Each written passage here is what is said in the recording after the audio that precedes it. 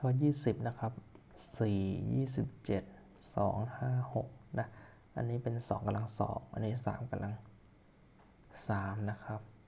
อันนี้เป็น 4กำลัง4ไหม4กำลัง4นะ4กำลัง4เป็น 260 256 เพราะฉะนั้นตัวต่อไปต้องเป็น 5กำลัง5นะคือ 5 คูณกัน 5 ครั้ง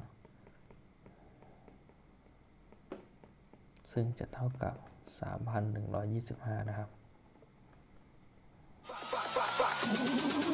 Come check the flow.